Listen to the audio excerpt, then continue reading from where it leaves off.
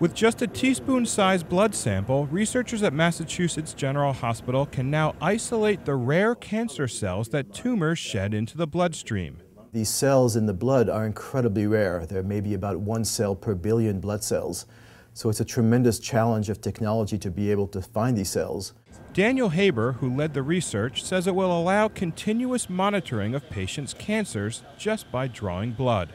So this would open up the possibility of following a cancer as it evolves during a patient's care to make sure that the treatment that we give is always the best one for a cancer at a particular time.